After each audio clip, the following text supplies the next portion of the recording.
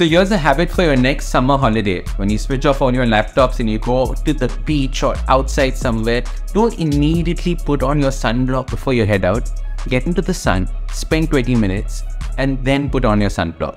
And the reason for doing this is get that vitamin D in. When you put on the sunblock, you're not going to be getting the vitamin D, and we want that, especially when we go on holiday. So remember to put on your sunblock only after 20 to 30 minutes of being out in the sun.